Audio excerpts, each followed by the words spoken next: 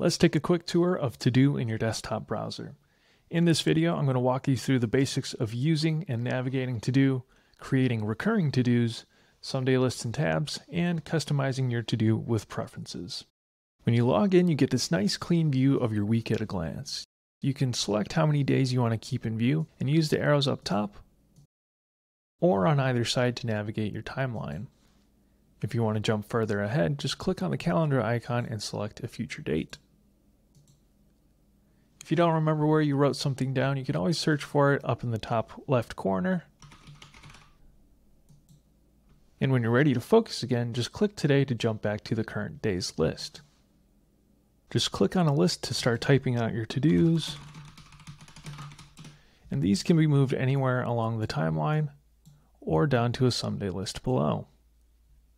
Click to edit when you want to make changes and select from different formatting options to style your to-dos. When you're done with a task, you can check it off to mark it complete or delete it to clear up some clutter. Don't worry, you can always undo delete with Control Shift Z. When you get to the end of the day, any unfinished tasks will roll over automatically so you don't forget. So up top you have this row of dated lists along your timeline and down below you have someday lists which allow for more flexibility when you're planning. This combined view gives you all sorts of options for making and organizing different types of lists. We'll give you a couple examples in our next video.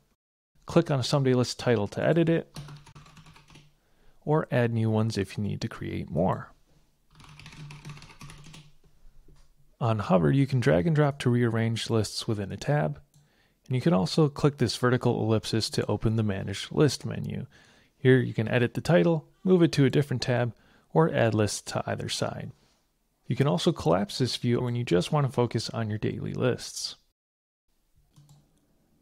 Tabs allow you to group someday lists into different contexts. You can prioritize lists into groups so you're only seeing what you need when you need it, and you still have quick access to things that are deprioritized. Arrange the tabs along the bottom and click the plus sign when you want to create a new one. To move lists between tabs, just click on the Manage List menu and select Move To. You can sort lists in a tab from the Manage tab menu, or just drag and drop to rearrange them.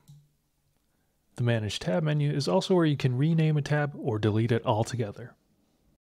Now let's go over how to create recurring tasks. Now there's two ways to do this in TeuxDeux. The first is with natural language and you do this by typing the frequency on the end of a task like drink more water every day. Here's a list of all the available frequencies you can enter using natural language.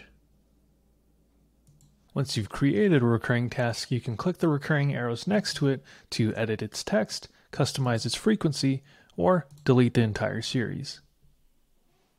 View All will open up the Recurring To Do sidebar, which is also accessible from the recurring icon in the top left corner. This is where you can manage all your recurring tasks in one place, create new ones, and sort them by frequency as well. Creating or editing recurring to-dos from here gives you more granularity with how these to-dos will repeat.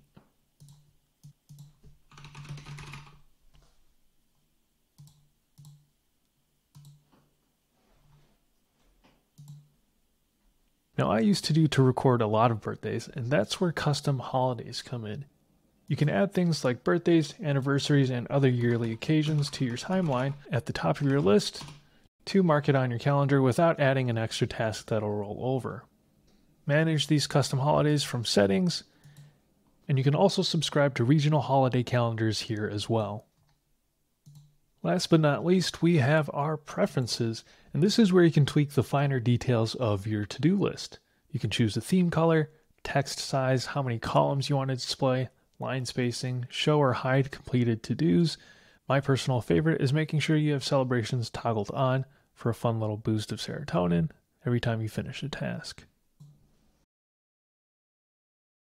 And that's how you use TeuxDeux. Now you can check this off your to-do list Save this link somewhere if you need it for a quick reference, and let us know if you have any questions at help at teuxdeux.com.